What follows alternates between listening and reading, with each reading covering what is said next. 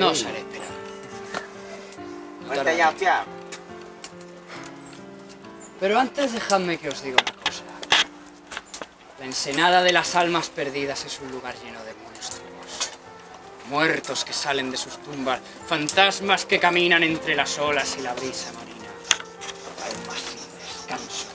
Como estarán las vuestras cuando veáis cómo se le escapa el último aliento de vida.